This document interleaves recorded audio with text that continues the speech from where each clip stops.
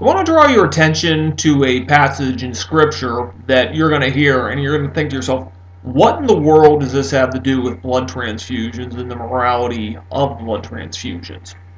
Uh, I'm going to read it for you right now. It's from Jeremiah 17, 20, and, uh, sorry, 21 and 22. Thus says the Lord, Take heed to yourselves, and bear no burden on the Sabbath day, nor bring it in by the gates of Jerusalem, neither carry forth the burden out of your houses on the Sabbath day, nor do any work, but Hallow the Sabbath day as I commanded your fathers. Well, that has a lot to do with blood transfusion so far, Mike, you're thinking. And um, just keep listening. So, next we have John 5. This is the story of Jesus healing the, uh, the invalid man who was paralyzed for 38 years. It's on a Sabbath. Jesus asked him, Do you want to get well? Uh, the invalid says, "Well, I have no one to help me in the pool." He doesn't really try to get. I try to get in. Someone goes ahead of me. Notice he doesn't really answer Jesus' question. Um, Jesus healed him. He says, "Get up, pick up your mat, and walk." Once the man was cured. Now, the day which this took place was a Sabbath, so the Jewish leaders said to the man, "It's a Sabbath. The law forbids you to carry your mat." Well, they were actually absolutely correct on that. Um, the Sabbath law, based on what is written in Jeremiah, and there's also something in Nehemiah, it was forbidden in God's law that you would pick up a load and carry it somewhere. And yet Jesus told him to do so. Now, at the end of that narrative, John 5.18, it says, um, this, for this reason, they tried all the more to kill him. Not only was he breaking the Sabbath, but he was even calling God his very own Father, making himself equal with God.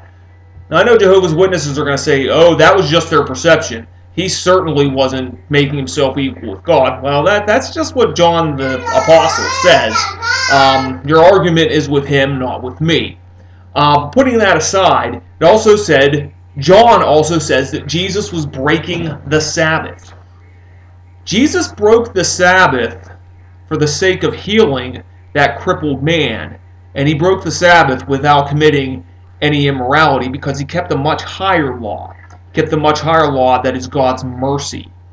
Now, with that in mind, Jehovah's Witnesses are going to tell you how wrong blood transfusions are because we are forbidden from, con from consuming blood. Putting it aside, as I made a point in a previous video, that no MD on earth that I'm aware of considers this a feed. It is more of a it is considered more an organ transplant than anything. But here's where I really want to hit it home. You could say, no, no, no, Jesus wasn't breaking the Sabbath. You don't break the Sabbath by doing good on the Sabbath.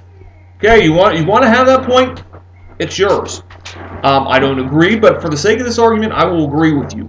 Nevertheless, Jesus told a man under those circumstances who had just been healed on the Sabbath to pick up his mat and walk. He specifically told him to carry a load on the Sabbath because of the special circumstances that it was under.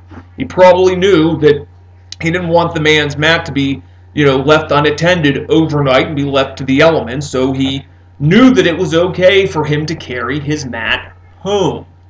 Under those circumstances, Jesus Christ knew that it was okay to break the Sabbath law to break one of God's laws.